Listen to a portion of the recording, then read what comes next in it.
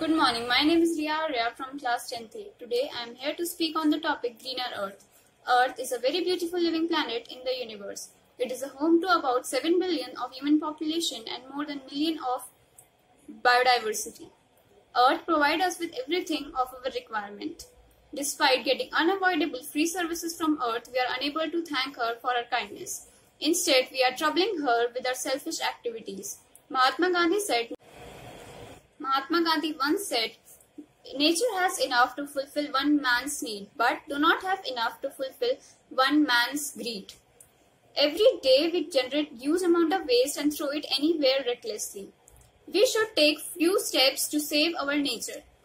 We should use avoid the we should avoid the use of plastic bags and use cotton or jute bags instead. We should use public transport there are many more steps which we can take to save our mother nature.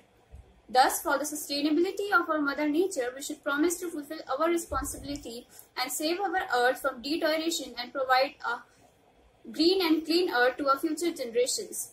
Now, only you and me can save this earth.